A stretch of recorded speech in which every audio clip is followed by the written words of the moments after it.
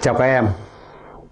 Thầy đã quay lại với các em Trong clip Luyện tập một số bài tập cơ bản và điển hình của kim loại tác dụng với dung dịch H2SO4 loãng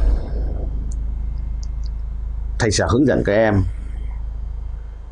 sử dụng phương pháp bán phản ứng cho nhận E kết hợp cùng với tổng nợ E cho bằng tổng nợ E nhận và áp dụng triệt để định luật bảo toàn khối lượng cũng như định luật bảo toàn điện tích cũng như định luật bảo toàn số mol nguyên tử của các nguyên tố trong phản ứng hóa học. Mời các em theo dõi lên trên bảng. Về ví dụ, đây là những ví dụ thầy trực tiếp sáng tác trong quá trình biên soạn bài giảng để thực hiện quay video clip phát sóng trên toliha.vn cho mgam hỗn hợp xì gồm magie, sắt và đồng. Tác dụng vừa đủ với dung dịch H2SO4 loãng 0,1m thì thu được 7,84 lít hydro điều kiện tiêu chuẩn. Và dung dịch Y. Khối lượng dung dịch Y lớn hơn khối lượng dung dịch H2SO4 ban đầu là 10 gram. Vấn đề đặt ra là chúng ta phải khai thác thông qua các dự kiện đầu bài cho.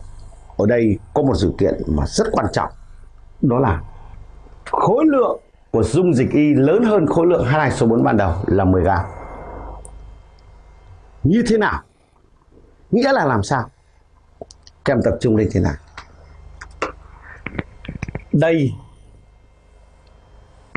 là dung dịch H2SO4 0,1m.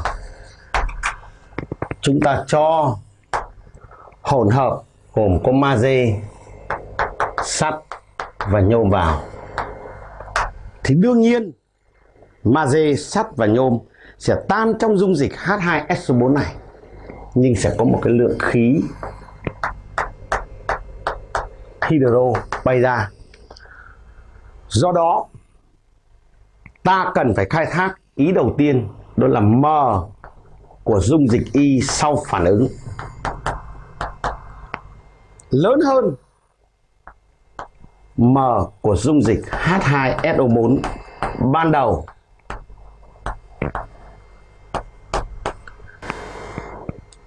bằng cái gì? Đó chính là bằng tổng m